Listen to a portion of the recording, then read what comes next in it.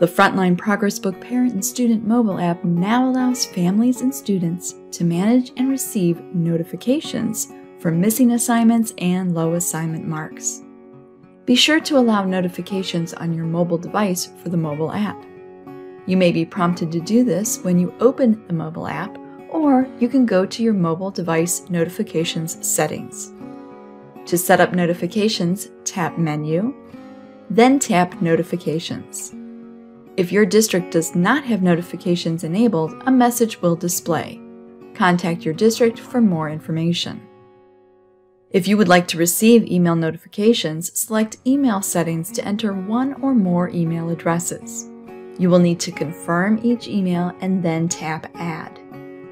To remove an email, tap the Delete icon. Any email addresses added will also be reflected on the alert screen in the web version.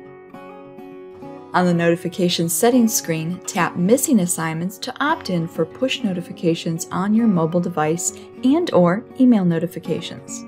You may return to this screen at any time to opt out of these selections.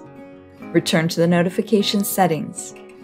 Tap Low Assignment Marks to allow push notifications and or email notifications. Then select Class Settings to set the low mark threshold for each class. Low assignment mark notifications are not available for standards-based classes. Email settings for both these notifications will be reflected on the alert screen in the web version. If you are a parent or guardian with multiple students in the district, tap the down arrow by the student's photo to manage notification settings for each student. For more information, go to Menu, Account, ProgressBook Help to access the Learning Center.